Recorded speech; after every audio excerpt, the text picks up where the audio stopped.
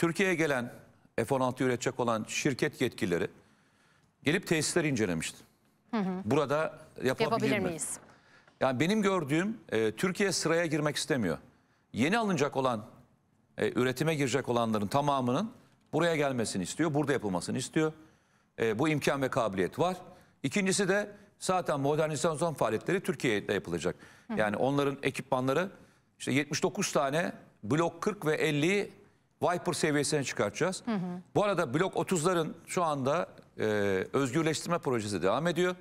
Ve ilk yapılanlarda silahlı kuvvetlerine teslim edilmeye başladı. Müjdesini de öyle vereyim ben size. Yani F-16'da yalnızca beklemiyoruz. Bir taraftan elimizdekileri özgürleştiriyoruz. Bir taraftan milli muharip uçağı yapmaya devam ediyoruz. Bir tarafta Hürjet'i e, artık e, seri üretim aşamasına getirdik. Bir taraftan Kızıl Elma bu sene e, seri üretim aşamasına geçecek.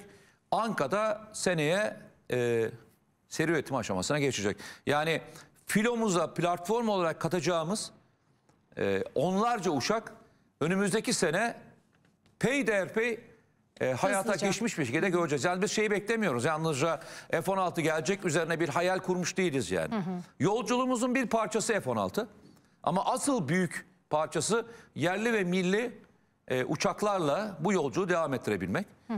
E, bir sıkıntı yok gözüküyor şu anda hiçbir şey. Hatta ısrarla söylüyorum. Ee, bir F-35'e bir gelseniz baksanız mı noktasına doğru gider miyiz de bilmiyorum. Ben istemiyorum. Yani bu konuya hiç girmek de istemiyorum. F-35'i vermesinler diye yalvaranlardan bir tanesiyim. Ama Onlar da zaten olanlar bu var. F, Efendim? F-35 mevzuyu ne zaman açtılar? Kaan havalandığında, havalanacağında. Ee, ben size şöyle söyleyeyim.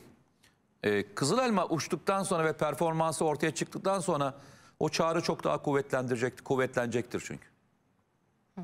Çünkü bizim asıl önemli şeyimiz insansız savaş uçaklarını devreye soktuğunuzda ve yeni tipteki, yeni tipteki e, füzelerimiz işte son yaklaşık bir aydan beri çok uzun menzilli füzelerle atışlar yapıyoruz biliyorsunuz.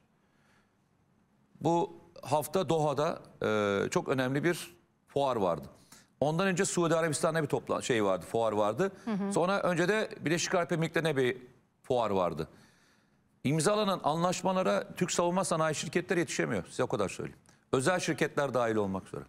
İster gemi üretmek, isterseniz uçak satışları, isterseniz siyah, isterseniz mühimmat, isterseniz akıllı mühimmat.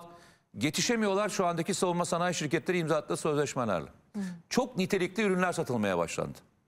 E bunu bunu şey görmüyor mu zannediyorsunuz? Yani oradaki rakipleriniz görmüyor mu zannediyorsunuz? Tabii. Hepsi görüyor. Sizinle aynı yerde satış yapmaya çalışıyorlar.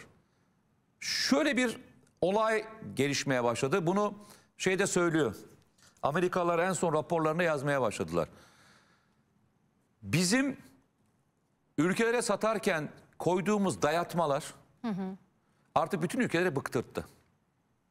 Bıktırttığımız bütün ülkelerin şu anda satın alabilecekleri bir ülke oluştu. Fırkateyn yapabilen bir ülkesiniz ve üzerindeki bütün silah sistemlerini yapıyorsunuz. Bakın Fırkateyn'le beraber deniz kuvvetlerinin ürünlerini satıyorsunuz artık. Arkasından hava araçlarını da artık çok uzun zamandan beri ihraç etmeye başladınız. E şimdi bir de şeyler başladı. Akıllı mühimmatlar başladı. Amerika'nın en çok elde ettiği gelirlerden bir tanesi akıllı mühimmatlardır. Platform satar, platformla beraber malzeme almaya başlarsınız. Biz 25 milyar, 24 milyar dolar falan konuşuyor ama 20 milyar doların altına gelecek olan bir paket var. İçerisindeki modernizasyon kitleriyle beraber uçakların toplam maliyeti 8 milyar dolardır. Alacağımız mühimmatlarla beraber ürünün fiyatı ne kadar çıkıyor biliyor musunuz? 20 milyar dolara çıkıyor. 12 milyar dolar yaklaşık bunun şey. Yalnızca mühimmat. Mühimmat sektörüne girdi Türkiye. Akıllı mühimmat bölümüne girdi ki girişi de çok gösterişli olduğunu söyleyeyim size yani. Peki ama yine de F-16'lara dünya çapında bir talep sürüyor. Yok ben F-16 kötü demedim. Yo yo F-16, F-16 kötü konusunda hiçbir itirazım yok. F-35. Elimizdekileri modernize edelim. Eksik olan eksik olan yerine 40 tanesine koyalım. Ama bizim ana yolculuğumuz dediğim gibi Yerli ve milli. yerli ve milli e, uçak ve platformlarla ilgili. Bu konuda artık hayal değil. Bunların hepsi gerçekleşti. Hani eskiden bunları konuşurken hayal olarak konuşurduk. Yani işte bunları bunları yapmayı düşünüyoruz. Artık yapıyor, düşünüyoruz ve geçmedik. Şu anda seri üretim aşamasına geçiyoruz diye konuşuyoruz. Bu büyük bir atılım aslında baktığınızda. Yani arkadaşlar şey var mıydı ya? Şu bir tane şey koydunuz ya dördüncü nesil, birinci nesil, ikinci Ona nesil. geçeceğiz şimdi. Hah, Birinci tamam. nesilden beşinci Tamam. nesile uçaklara Okey. bakalım. O sırada ben size kısa bir soru daha sorayım. Şimdi bu F-35'lerle ilgili Yunanistan'ın talebi Amerika Birleşik Devletleri tarafından bizim F-16'larla ilgili talebimizle birlikte eş zamanlı olarak e, alındı Evet. aksiyona. Acaba bizim niteliksel olarak hava gücünde Yunanistan'ın gerisine düşeceğimiz herhangi bir zaman dilimi oluşacak mı? Ee, Valla yalnızca e, uçak olarak bakmayın. Hava savunma sistemleri olarak da bakın. Türkiye hava savunma sistemlerinde çok müthiş bir gelişim sağladı. Bazı şeyleri açıkları o da kapatıyorsunuz. Sonra mesela siz platform yapmaya başlıyorsunuz. Mesela TİHA bir hava platformu. Ondan da avantaj arıyorsunuz. Kızıl Elma bir platform. Savaşacak bir platform. Ee, belki bir veya iki sene bir dengede problem yaşayabilirsiniz ama bu büyük kırılmalar oluşacak olan bir e, dengesizlik değil öyle söyleyeyim size. Peki. Yani çünkü bir uçağı aldığınızda hemen ertesi gün adapte olmuyorsunuz. Öyle diyeyim size. Peki. Bakın hani biz şimdi 5. nesil diye soruyor arkadaşlar hani ya bunlar yani Neden bahsediyorlar? babadan oğuldan mı bahsediyorsunuz? Evet. Hani ben üçüncü nesildir burada iş yapıyorum falan diyoruz ya. babadan oğula geçiyor. 42 50 51 60 61 70 arkasından 71 90 81 2000 2000 sonrası tabii farklı farklı özellikleri olanlardan bahsettiğimiz. Yalnızca tarihe bakmayın. Aynı zamanda özelliklere de bakmakta yarar var öyle söyleyeyim size. Burada önemli olan şey şu. Arkadaşlar bakın birde yokuz. ikide yokuz. Üçte yokuz. Dörtte yokuz. Dört buçukta girmeye başladık. Ve beşe girdik. Dört buçuk ve beşe girdik.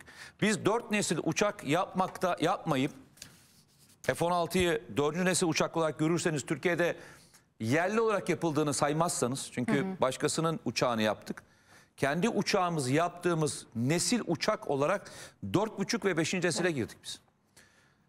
Yani şeyin söylediğine göre hani e, Selçuk Bayraktar'ın söylediğine göre dünyada uçaklar 120 senedir uçuyor.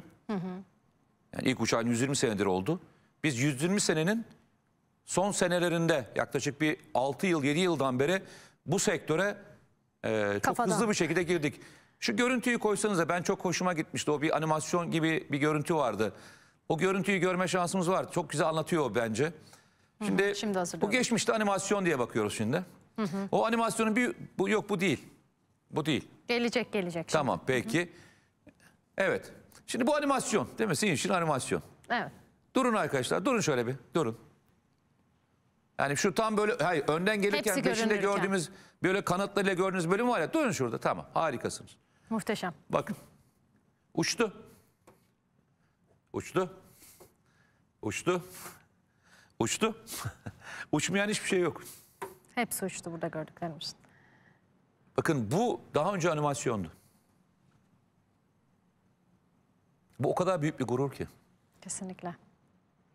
Ya- Yani eee, hani bu ülkeyi çok severseniz her yaptığı şeyden mutlu olursunuz değil mi? Ben de söylüyorum. Her, buraya baktığınızda gözünüz yaşarıyorsa yani bir şey kaçmadan yaşarıyorsa çok güzel duygular içindesiniz diye söyleyeyim yani. Hadi isterseniz biraz seyredelim şunu. Çok güzel yapmışlar arkadaşlar. Haydi izleyelim.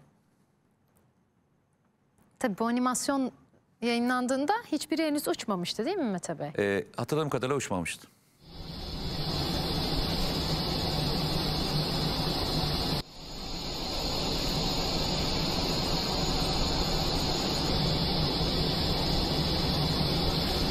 İnşallah bunların eee, artık silahlı kuvvetlere seri üretimiyle başlayacağı 2024 yılı içinden itibaren görmeye başlayacağız.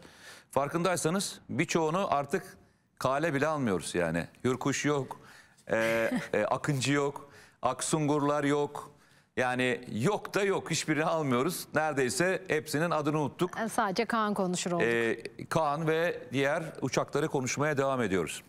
Bu arada 5. nesli konuşmaya devam edelim bir taraftan. Tabii. Ee, hatta orada size sormak istediğim bir soru daha var. Business Insider'da haber olmuştu. Kaan SU-57'lere tercih edilir mi diye bir haber yazdılar. Amerikan merkezli.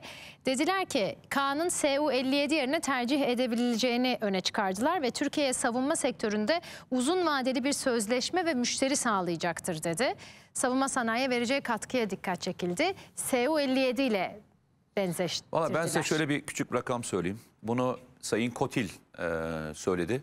Yaptığımız ürünlerin e, sipariş anlamında eğer imzalamaya başla- başladıklarımızla beraber düşünürseniz yalnızca TUSAŞ'ın cirosu nereden bakarsanız bakın 50 milyar doların üzerine çıkar.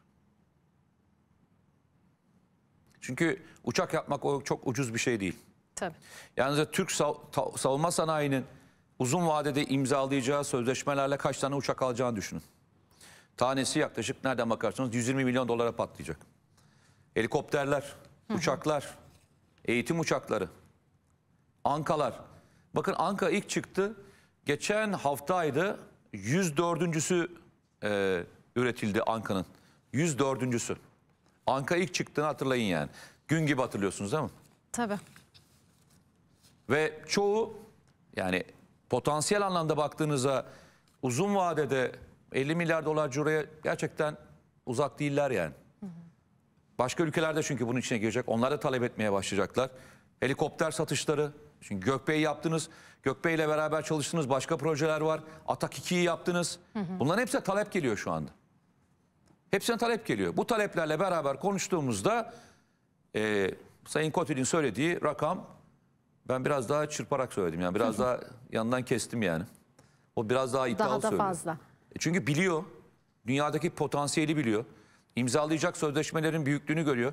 Bakın yalnızca bizim eğer F-35 projesine girmiş olsaydık uzun yıllar boyunca F-35'e eğitim, e, alma, motor ve diğer bakımlar dahil olmak üzere bize maliyeti ne kadardı biliyor musunuz? 100 milyar dolardı. İyi oldu diyorsunuz yani. Yok yok yani 50 milyar dolar size çok böyle büyük bir rakam gibi gelir. Biz yalnız F-35'leri alıp yani o kadar da böyle 500 tane falan almayacaktık yani. Evet. Kısa küçük bir miktar alacaktık. Onun Türkiye'ye maliyeti uzun boyunca kullandığı bölüm boyunca toplam maliyeti tam 100 milyar dolardı. O anlamda kolay bir sektörden bahsetmiyoruz. Küçük Kesinlikle. bir sektörden de bahsetmiyoruz. Üretimler, üretim aşamaları, geliştirecek aşamalar, motor teknolojisinde elde edilen tecrübeler, bunun üzerinde kullanılan sistemlerin ihraçları. Mesela biz şeyi yaptık hemen, e, fırkateyni, İstanbul fırkateyni. Üzerinde gelişmiş bir radar vardı. İhraç etti hemen As Aselsan. Çok önemli bir uzun, e, hani geçen gün anlatırken e, Aselsan'ın genel müdürü dedi ya, biz uzayda giden istasyonu kendi radarımıza tespit ettik. Evet. O radarı yurt dışına ihraç ettik. Ve bugün işte dediğiniz gibi her geçen gün yeni haberler geliyor. İşte TB2 Bayraktar SİHA galiba en son Arnavutluk TB3. envanterine girdi. Ha, Arnavutluğun TB2 girdi. TB2 Evet. girdi ve hani gerçekten takip bile etmekte zorlanıyoruz bu haberleri. Bizi bu kadar mutlu eden, Ya gururlandıran tabii şöyle haberleri. biz e, hani hep SİHA, İHA diye konuşuyoruz ama artık geldiğimiz yer SİHA'nın, İHA'nın ötesine gidip şöyle diyesek çok daha doğru olur diye tabii düşünüyorum. Türkiye insansız sistemlerin ihracında, bu isterseniz kara araçları, isterseniz deniz araçları olsun. Dünyada sayılı ülkelerden bir tane. İnsansız sistemler demek çok daha mantıklı. Yalnızca İHA, SİHA dediğimiz zaman işi biraz e, sanki küçük kısmını alıyoruz gibi gözüküyor. Aslında çok daha Aslında büyük. insansız sistemler, yeni geleceğin silah sistemleri demek çok daha doğru bir vurgu olur diye düşünüyorum. Peki. O şekilde bir araya gidelim. Bu Tamam. gurur verici animasyonu bir kez daha izleyerek ikinci bölümde yeni konuklarla artık siyaset konuşmaya başlayacağız.